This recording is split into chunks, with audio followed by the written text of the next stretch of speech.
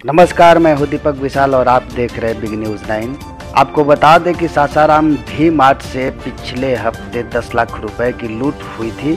उस लूट कांड में ज़िले प्रशासन पुलिस को बड़ी सफलता हासिल हुई है। शहर के तकिया मोहल्ले से पुलिस ने पाँच लोगों को गिरफ़्तार कर लिया है और ढाई लाख रुपया भी बरामद की। आगे की गिरफ्तारी जारी। अभी तक कुल पाँच गिरफ्तारियाँ भी मार्ट लूटकांड में हो, चुकी हैं।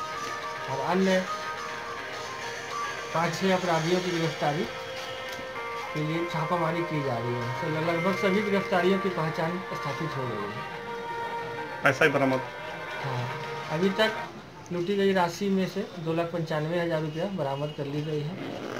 अन्य राशि की बरामदगी एवं सामान की बरामदगी हेतु छापामारी चल रही है।